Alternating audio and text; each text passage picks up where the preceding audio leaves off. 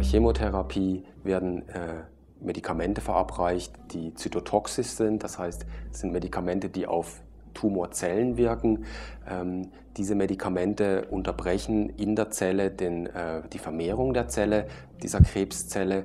Ähm, es gibt Zellzyklen, nennen wir das, wo sich die Zelle teilt und diese Medikamente greifen dort spezifisch an.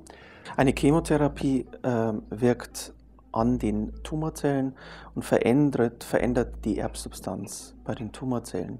Ähm, dadurch werden vor allem Zellen getroffen, die sich schnell teilen im, im, Körper. Ich habe Ihnen das mal in so einer Grafik dargestellt. Sie haben also ähm, auf der X-Achse die Anzahl der Zellen, beziehungsweise wie groß der Tumor ist, wie, wie, wie schwer der Tumor ist. Und hier habe ich mir einfach mal die, die Zellteilungen aufgezeigt.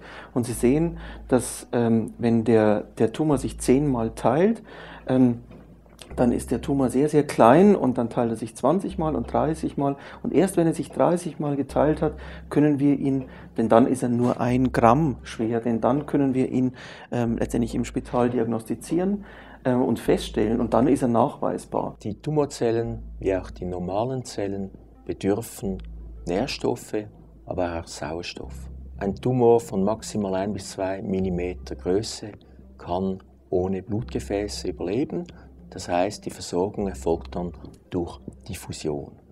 Wenn der Tumor größer ist, gibt es eine zum Beispiel Sauerstoffunterversorgung im Tumor und dies führt zur Gefäßneubildung.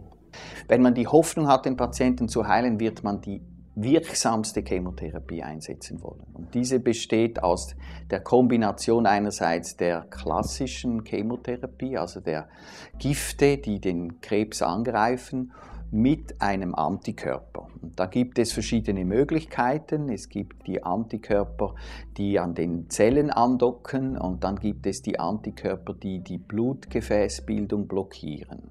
Und das wird abhängig sein von den äh, Faktoren, die der Tumor hat, ähm, wird man eine Kombination wählen und mit einer möglichst effizienten Therapie zu einer Schrumpfung der Metastasen, also der Ableger in der Leber, das durchführen und dann hoffentlich zu einem noch operablen Zustand äh, bringen. Es gibt viele Studien, ähm, die ähm, eine Hemmung der Tumorangiogenese untersucht haben klinische Studien, die wir bei Patienten durchgeführt haben.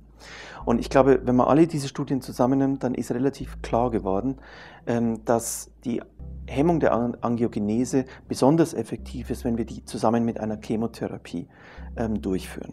Ähm, viele Studien führen die Hemmung der Angiogenese dann auch über die Chemotherapie fort, so als Erhaltungstherapie. Der Stellenwert dieser Erhaltungstherapie ist allerdings in der Onkologie weniger klar.